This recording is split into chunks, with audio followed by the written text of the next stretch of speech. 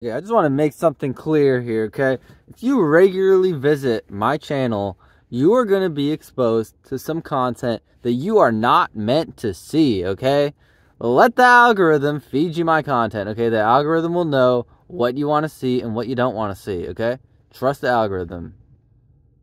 Unless, you know, you really are, you, you, you're hardcore like that.